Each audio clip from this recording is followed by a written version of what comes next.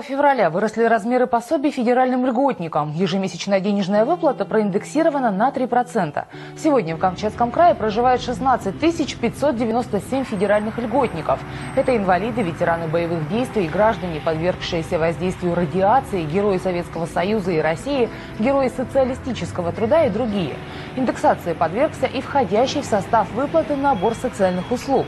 С 1 февраля его стоимость составит чуть больше полутора тысяч рублей ежемесячно, из которых почти 900 льготник может потратить на необходимые медикаменты.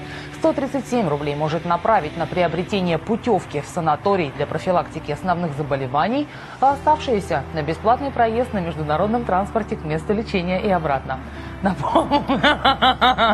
37 рублей. Извините.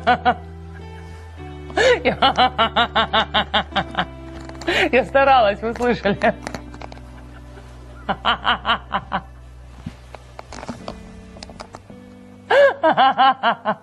Хорошо, что я не в прямом эфире. Я, честно, очень старалась не засмеяться на это. А остальные на международный проезд вы это читали? Ну да, больше всего правильно, международный проезд за 137 рублей. Нет, 137 это на э, На на путь нет, на путевку в санаторий, а оставшиеся на международный проезд к месту, месту отдыха и обратно. Понимаете? Полторы тысячи, из них 900 на медикаменты, 137 на санаторий, а оставшиеся деньги на проезд.